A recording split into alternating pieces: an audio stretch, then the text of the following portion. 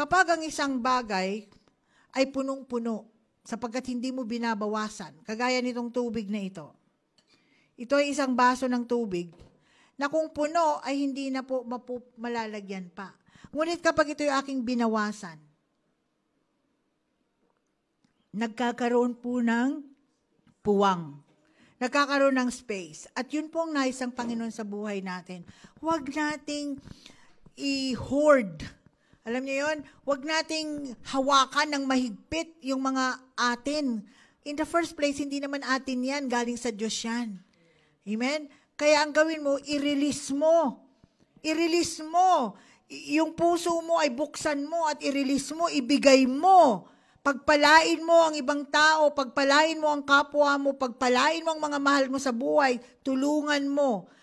Pagpalain mo ang iglesia, pagpalain mo ang ministeryo ng Panginoon. Maging katuwang ka, you become a partner of the ministry of the of the propagation of the gospel.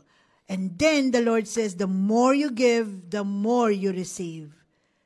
It is more blessed to give than to receive. You are blessed.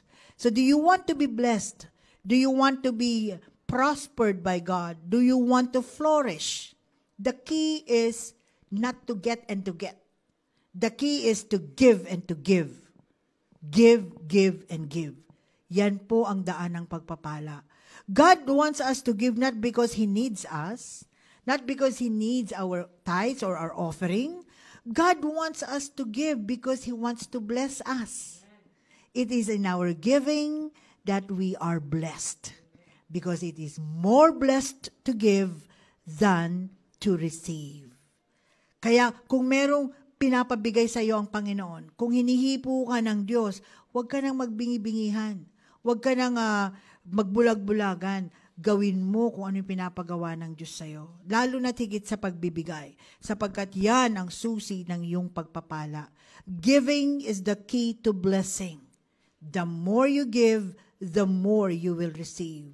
You are blessed when you give rather than when you receive. Acts 20:35. Amen? Amen. So, tayo po yung maging mapagbigay. Huwag po tayong pakabig.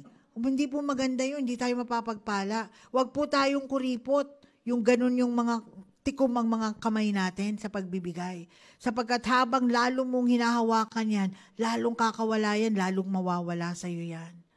Pero kapag ito ay nirelease mo, amen, ito ay tinanim mo, makikita mo isang araw, ito'y tutubo at aani ka.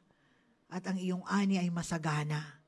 Yan po ang daan ng pagpapala. Yan po ang sikreto ng pagpapala.